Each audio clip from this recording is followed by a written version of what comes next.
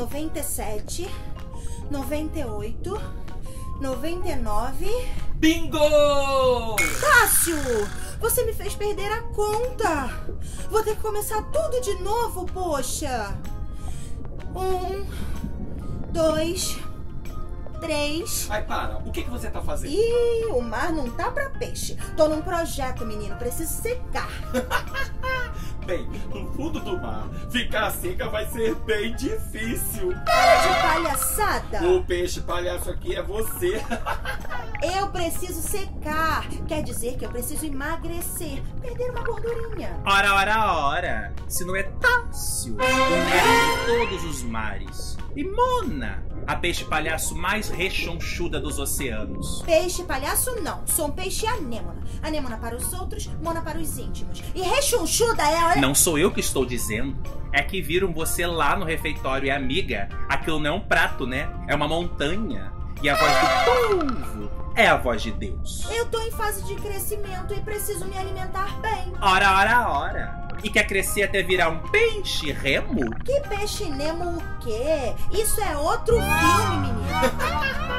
Peixe remo não é peixe Nemo.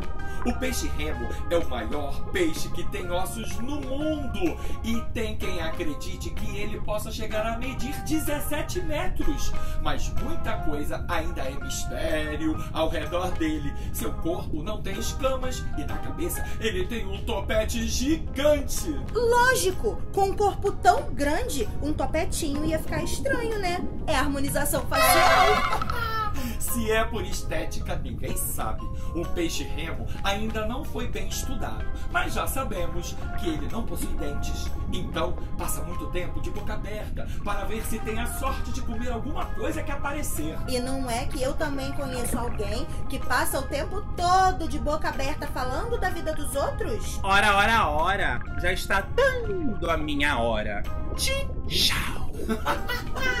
Acho que esse povo vai ficar igual ao peixe remo, raro de se ver toda hora. Falando em hora, já tá na hora do meu lanche. Sabe como é, né? Dieta balanceada. E que dieta é essa? Dieta da água. Toda hora que eu bebo água, eu como alguma coisa. Pois, pois é, é, o mar tá pra peixe. peixe.